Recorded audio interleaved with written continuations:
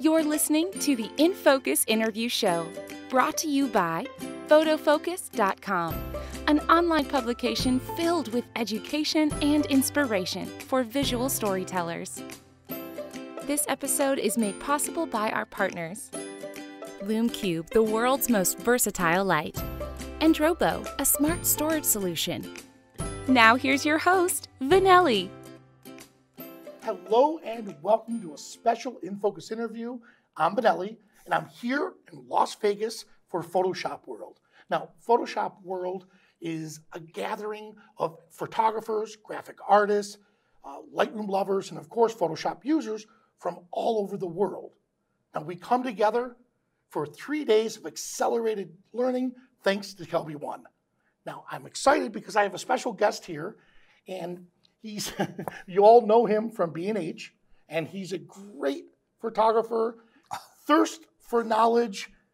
This is Abe Curland. Hello, Abe. Thank you. Thank you for that great introduction. but uh, that so, was a great here, photographer here, part. I hang around with great photographers. So well, okay, so there's, there's a song I really like. It says, um, um, she, the, the, the, the, person in the song is saying how they want to become great someday. Yeah. So it says, I hang with the greats Oh. I may not be there, but I still hang with All the right. greats because someday I'm going to make it there. Well, I hang so, with the greats. Well, okay, let's first let's talk about. So the topic is going to be the thirst for knowledge. Yep. You know, how, how to how to take advantage of situations.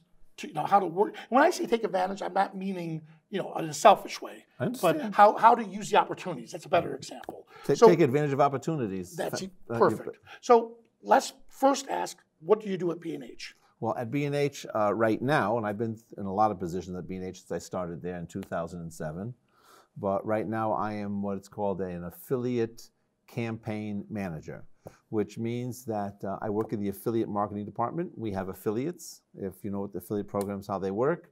So B&H has affiliates like other companies do, and I'm assigned mostly the photographers, or that's who I mostly have as photographers who um, I deal with them on a day-to-day basis, uh, getting them loans, helping them with uh, getting reviews done, um, and whatever other needs they might well, so let, us I'm glad you said it. So when you go to a website, let's say you go to YouTube, and yeah. you're watching something that's free. It's free on YouTube. Somehow, the, the, the person who's creating that content has to get paid for it. So somewhere they have to get paid for it. Now, through YouTube, it could be through YouTube, um, ad, ad ads. That's it could be the affiliates. You know, if they're an right. affiliate with B&H. So if you really, if you find somebody you really love and you love following them on YouTube's, and they do mention, hey, please use my affiliate link, please do because that's supporting those people. Now, keep in mind for the gear review. In fact, right now I'm reviewing the new DJI Osmo pocket right. that, you, that you sent which, to me. Which I, I sent, well, I didn't send it to you, I loaned it to loaned you. Loaned it to me, right? yes. Which is a very unique part of our affiliate programs that exactly. we do. Not a lot, of affiliate programs don't lend gear, we do. Big, yeah. It's a big perk. Now, and, and again, because for me, if I had to buy this to do a review on it and not make any money off of that review, well, I, I charity only goes so far. Yeah. You know, I can only do it for so long. exactly. So that's where the partnership with B&H and our photo focus partnership with you is absolutely phenomenal. Uh, I'll use one more example. I'm heading into the Badlands, yep. and I, I put a message out on Facebook. Oh my God, I can't believe this. My 7200 lens, my sports lens, uh, kind of took a dive in the ocean, so that one was gone. So I borrowed my son's 80 to 70 700, or, sorry, 80 to um, uh, is, is, it a Nikon? Yeah, Nikon. 80, 80 to 400. 200, 80 to 200. 80 to 200, that was a very, very old lens. Oh. I gave it to him.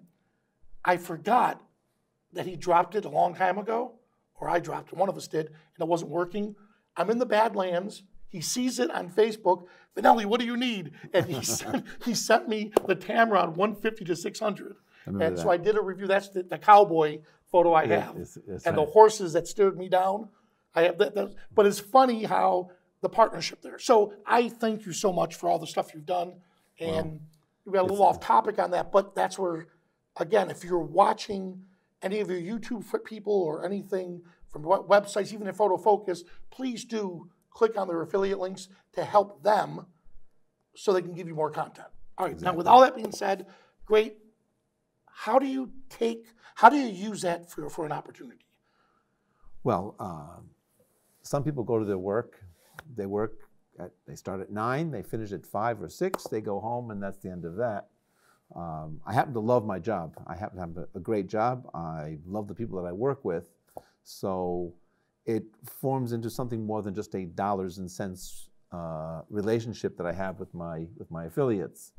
So we become friends, we become partners, uh, both in business, and I get the opportunity to spend time with them when they're actually doing photography, and I get to learn from that. I did not, I was not one of these people who picked up a camera when I was in seventh grade.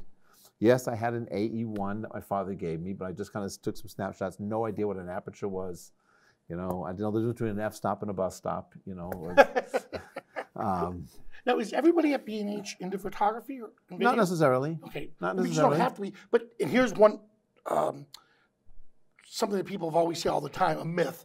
Well, you work at B&H, you get everything for free. Oh, absolutely yeah, no, not. No. I would rather be an affiliate. then I can then I can get stuff. I want to be an affiliate so I can get stuff because for me to get to, for me to, to borrow equipment, is, no, it's we, hard, we, you, you, can't do that. It's it's yeah. impossible. B&H is, is, is uh, wants to remain a viable business, yes, and you can't just no be way. throwing so, out gear. The, so here's the, what's neat. So here's what's neat. Because you're hanging out with a lot of photographers and graphic artists, it kind of re-inspired you to become a photographer. Absolutely. I uh, a couple of friends at B&H and I uh, started to do some photo trips together. Then I started to meet people. I started to talk to people, whether it be Moose Peterson, Kevin Ames from Photo Focus, uh, Scott Bourne, some other people um, would look at my photos. And uh, this, I think, is a very interesting part. Now I do this, but when I show someone a photo, I don't want you to just tell me, that's a nice photo. Tell me exactly what I did. And that's I want to know. So when someone shows me a photo, I always I say to them, "You want to show me some photos? Do you want me to tell you that it's nice, or do you want to tell you what I really think?" And I just want to tell one quick story. You can. Yep, fire away. I was in a dentist chair. oh, you work at B and H. I just went to Iceland. Oh, I want to show you some pictures. Hope he doesn't see this YouTube. I hope he doesn't see this. I want to show you some pictures I took. I said to him, Do you want me to tell you what I think? Or do you want to tell you they're nice? He didn't even understand the question. So I would just tell him they were nice. I just they were nice. dentist chair. So I, I saw his overexposed, lousy composition, Aurora pictures as he was going crazy and just going, uh huh, uh huh, very nice. so that's what I've done. I, I, want, I wanted to learn. Uh, I've been told by people who work with me that I'm very teachable. Uh, is that, that good? Is that a word? I'm, yeah, very I'm, teachable. I'm teachable. Yes. Well, I, yes. And if you're not, you know, look how many people we all deal with. That's right. And honestly, if a person isn't teachable, I just you, you talk to them. They're not teachable. I don't want to waste my time or waste their time. You know, if they have an open mind, and that's why I said you have a thirst for knowledge. Yesterday, yourself, you, Kubeisy, and myself, we went off to Nelson. Right. So Nelson here in Las Vegas is like a ghost town, so yeah, to speak. Yeah, it's kind of uh, cool. And it's incredible. Coming around the corner, we're heading off into this desert. All of a sudden, it starts to come into view. He was like a little kid in the candy factory. Cal Kubeisy keeps saying it. He looked in the mirror, there you are, just all excited it's so beautiful, about yeah. seeing this. And when we got there, of course, it was everything from antique, old antique old cars, everything, everything antique, uh, Yeah. old old pumps, everything from the old the old world. And so the first thing you did was you grabbed your camera and you looked at us and said, okay, guys, um, what are you guys thinking? And you asked for advice. What are you guys thinking? Well, it depends. What do you want to shoot? And because you you love landscapes, I do. right? So you love being a, like a landscape photographer. So this was a little bit different because you're doing close up, That's you're right. doing composition stuff, um, and there was so much texture in photograph. So the neat thing is the opportunity you had was to hang out with Kubeisy, Wow, which was a know, fabulous experience. you know, and then myself teach showing you different things like the one Yeah. shot that Rich Harrington and I got. That's right. Um, and I loved it because it made a memory. Oh yeah, Rich and I, we were here. What did I tell you? 2001. We we took that photo together, uh-huh. and now I'm showing it to you, and I can't wait for him to see it. and He's going to say the same thing. It came out really good, but I deleted it. Let's see if I can get it back. We'll, we'll pull that back too. So, all right, so that was one opportunity. Now this morning, and I mean, we we kind of put you through the mill yesterday. I did. I was exhausted. 4 a.m. He goes out with Moose Peterson. Yep. And what were you guys shooting there? Uh, well, we did a, a- sunrise uh, out in Red Rocks. We, uh, we there's actually just off the road. There's a thing called the Red Rocks uh, Lookout. It's a nice little vista. Has a lot of nice texture and has uh, the the red rocks and it's got some taller mountains and the sun comes up from the east and kind of bathes into the valley and it's just a really nice uh, moment of, of changing light. And Moose was teaching us um, about depth of field and he was teaching us about how to, how to, how to deal with the light and about um, how many stops, you know, using uh, filters and how to get more stops out of your camera and things Okay, like that. So let's. Okay, so he talked to you about um, f stops. What, Sto- what light, stops of light. The most cameras have, let's say, five stops of have f- five stops of. Uh, you can get like five stops of light out of it, but a, a typical scene in, in bright sun might have nine stops. So you know, what do you do now? so what was he telling you? Uh, u- using a, a, a graduated filter will, will help with that. And and um, Okay, so he, again, he, he taught, out- he, he taught, taught us about the fact that at when you focus to infinity, there's no depth of field. So what what are you shooting at f8 for? Go to, go f28. I mean, what do you care? Oh, There's another good tip. See, so what I'm trying to do here, which is working great, Yeah. is you're giving them the same tips That's that right. Moose gave you. That's it. So there was that opportunity. Share, that share the knowledge. The whole paying it forward. So here, what did you, you hear what he just said? There's because I had that habit too. You know, mm-hmm. shooting out because I'm not a landscape photographer. Right. You know, I like it, but you saw like when we saw we were out in the desert. Mm-hmm. Like, oh look how beautiful this is. I just want to walk out there, and I'm like, walk out where? Yeah. there, look up where. And then you you saw like the little plants and just so many cool things. You opened my eyes. I'm like, oh, okay, that's oh, pretty cool. I still like the studio scene, or I still like my uh, sports scene. But the, the tip you just gave was you're shooting a landscape. Or if you're shooting into infinity, everything's going to be in focus. So if you shoot at f8 versus 2.8, You just have to shoot, you're just shooting a slower shutter. If you're there at sunrise, you why, they need a tripod. Let's hand hold it and do it at f2.8. So, so that's a great whatever. tip. So, and you know what? So while you got that tip from Moose, From Moose. let's show, let's share them a tip that Kubeisy, I had Kubeisy tell you. Kubeisy showed me the fist. the fist. So if you're out, you don't have a model with you, you want to shoot a model tomorrow, and now I'm in, I'm here now. Put up your fist. Your fist will give you a really good idea. Is the Where sun the coming from over here? Do I need light over here? Uh, is light on the top? It's it's it's two o'clock. It's three o'clock. Okay, it's gonna come over here. He had one of those apps like Photo Pills. It wasn't called it's in the sunsetter maybe, but had that just so you can see where the sun's gonna come. If my hand's here, the sun's gonna come over here. I, never thought of that. This is just fabulous. You just go right over here, put your fist up like this.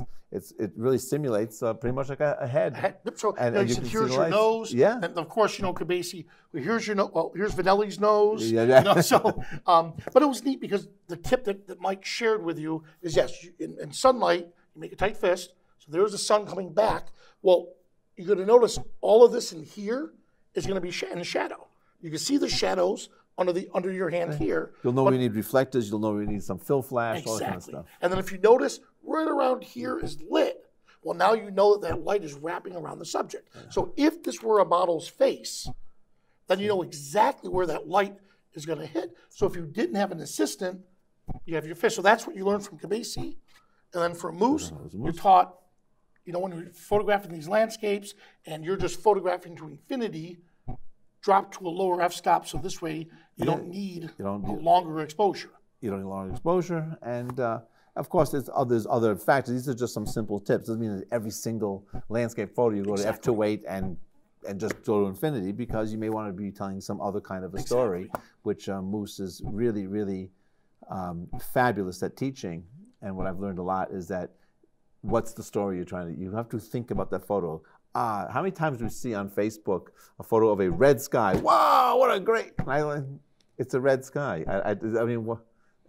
And what happened? What, what happened? There's nothing. There's nothing to So- tell over here. So another tip you brought out, which is really good, somebody, an amateur, and, and there's nothing wrong with, with amateur photographers, even photographers wanting to go to the next level. Right. There's nothing wrong with wanting to share your work with others. But here's the thing. If you share your work with others and you ask for a critique, please make ask, well, how do you want to be critiqued? As a beginner, as a novice or intermediate, as an advanced photographer, or as a paid professional? Because if you're, you tell me how you want me to critique you. Well, if they say, well, as a paid for professional, I had one shot, and Kubeisy caught it. The wedding ring was slightly crooked. He went nuts on me because that is something I should have caught. I didn't have an art director on set, and we were running and gunning. Usually, I'll have two people with me. They would catch something like that because I'm thinking technical, Right. all Yeah. these other things. But he's, other than that, it's a great photo. Well, No, and that, that- go, but go, go, go to a Peter Hurley cri- cri- criticism, uh, uh, critique. Criticism. No, no, take- cut. No, Peter. critique. I've, he comes to B and H to speak in the event space a lot. You know, the people bring in pictures, and I'll see a photo, and he'll look at it, and he'll just like, ah. And I'm like, I can, what does he see over there? He sees another goes, you know, shabang, and uh, what does he see over there? So I'm trying to see those things now. I, I, I- I must. And it takes, I- it, it- it but takes practice. Like my, my brother Joe is a, is a chef. He went to Paul Smith College in New York. We cried when he went off to college Yeah. because he always cooked for us growing up. Oh. Oh, he, he's just he's just absolutely phenomenal. So my brother Joe is a major chef. Yeah, when I cook for him, I'm like I get a little nervous because I don't want him critiquing Yeah, everything yeah, I do. yeah, yeah. You know, or I ask him, Joe, when you go out to eat, I mean, is it hard to eat other people's food? He goes, what do you mean? I said, do you like constantly critique when you're eating, like, oh man, I wish they did Yeah. this, this, or wow, They're, this miss- they're missing three grams yeah, of yeah. basil. You or, know? or, or, wow, this tastes incredible. Yeah. I wonder what he did different. Let me check. He goes, yeah, no, you're overthinking it. I'm hungry. I eat. So, Okay. and, so and sometimes with photos, it's the same thing. Sometimes you don't need to overanalyze it because if you look back at some of the old Marilyn Monroe photos, um, and you look back at some of the old classic photos that were not in a studio, yeah, even a lot of the Beatles coming off the plane and stuff, technically, a lot of them are not good photos. If you look from the technical side, hey, well, this is blown out. You know, look where the shadows are falling. But who cares? They, because they couldn't. They couldn't chimp. yeah, yeah. Yeah, they couldn't chimp. Um, but so who cares? It's the content, you know, and that's something that, that I've worked at over the years. Where enjoy it. You know, you see something you like, take the picture. Right, Yeah. Oh, So- take the picture. But if you. Actually, but, but, but if you want to get, if you want to get better, be open to critique, and, and accept it. Don't, don't, you know.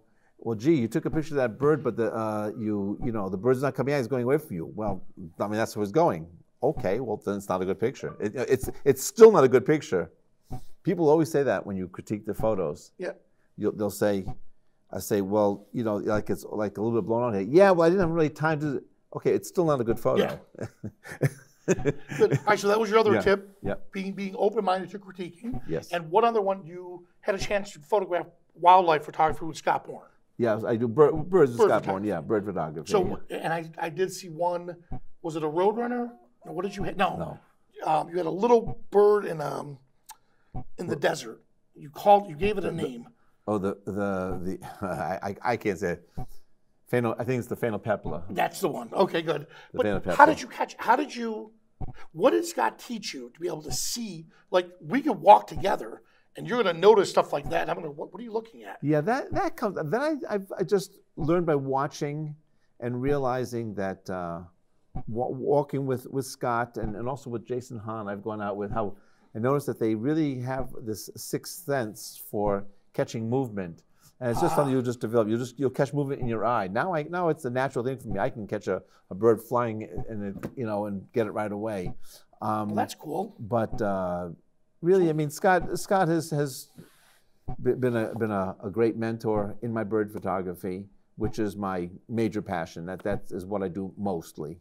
Uh, from all the other photography, if there's one thing I'm going to do, if I had to do one kind, it would be the bird photography. And besides teaching you the patience and and and and other tips, I mean, he has taught me that you need to have water, you need to have food, and you need to have cover. And there will be birds. Now just sit down and wait. And then you hope, you want the sun at your back, and you hope that the wind is coming from your back, blowing into the front of you. So this way the birds. And you come. cannot control that. Gotcha. And if you don't get it this time, you'll have to come back again. But the birds will be there, and every bird can be taken a picture. I take a picture of a cowbird, very common cow. Take a picture of a common sparrow. If you get a nice background, I mean, just, just I mean, there's a million things I've just learned. These little tips. He's taken the time out. He's very generous like that. Well, And I, I appreciate it very much. And now you're getting into headshots and portrait photography. A little bit, yeah. People are starting to ask me. They say, "I got, you know, oh, you got a camera? You take pictures?" You know, you know. There, there are people who are professional photographers. And there are people who get paid to take pictures. Okay, I, I put myself in the in the category of I get paid to take pictures. I want to come in, do a headshot. And uh, when I get better, then I'll become call myself Well, a professional. So with that being said, I mean, I'm, I'm not sure what your prices are. Plus, you're in New York, Yes. the city area, so Right. I'm sure it's different from the the rest of the Yeah. country. But you brought up a good point. You said, look, you know, there's people that get paid. Take there's pictures. people who photograph celebrities, and they get paid huge money because You know, yeah, but there are professional photographers that they are professional photographers, they- and they get paid the price for it. And there are people who just pick up a camera and say, "I'm." But I- you I- still, I, mean, I looked at your work. We, we talked about Yes, critiquing some of yes. it. The past ones you did very fine. There, Yes. The people you're, I'm hard on myself. Yeah, but I'm very hard. and I want to be hard on. My, I want to be hard on myself. Yeah, and that's good. They're- My, my, my, the people who come to me are very happy. They keep recommending more people to come to me. Uh, the- what I like about the headshots is just the interaction. You are trying to bring out an emotion. You're trying to bring out a personality, and uh, it's a talent. It's someone like Peter Hurley who's got a, a great talent for that. Uh, I believe that uh, someone like uh, Kevin Ames also is probably very good at that. Uh, Levi Sim is probably really good at that. See, Um, so all the names he's throwing out, he's not name dropping by no means. What he's doing is by telling you these, by doing these names, is for you to go out and look and listen to. Right. Right. To to find out, well, what is Abe talking about? You learn from these guys. Now, one of the things I want to work with you is maybe when you retire, we have Yeah. more time. Yeah. Is I'd love to like my assassin series. Yeah. Or the a series with you. So pick a Yeah. s- pick a funny series you'd like, and I'll work with you on how to Uh-huh. develop it from beginning to end. Right. Maybe use your grandchildren. Right. Not, not for the assassin. when I move to. Florida, right? Yes, when you come to Florida. So I'm, I'm trying. He has a choice between Florida and Las Vegas. So I'm, I'm. I'm trying to get him back to Florida area. So, but so these are things. I'll never again, relax if I come down there because we'll be together all the time.